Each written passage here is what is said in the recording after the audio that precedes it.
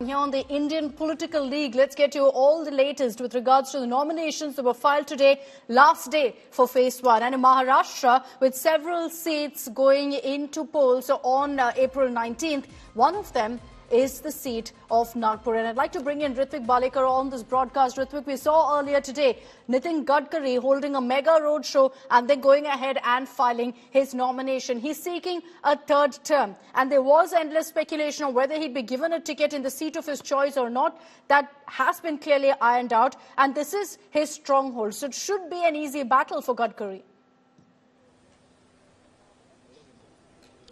Uh, absolutely, uh, Akshita. We can say that uh, it is uh, an easy battle, but uh, Nagpur being a VVIP seat uh, because Vikas Thakre is being contested from Congress against Nitin Gadkari, and another important seat from Vidarbha in the first phase, which the nominations has been filed, is Ramtek.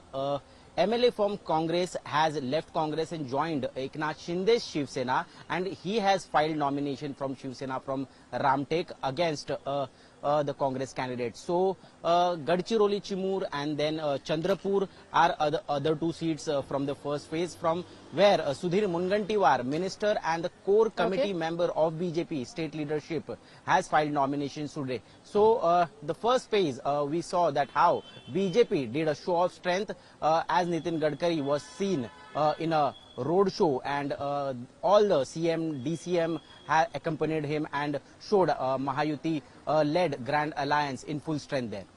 All right, we'll track what happens in Maharashtra as well come April 19. Thanks very much, Ritwik, for joining us with all of those details. Nagpur is a seat, a high-profile one that everyone will be watching out for.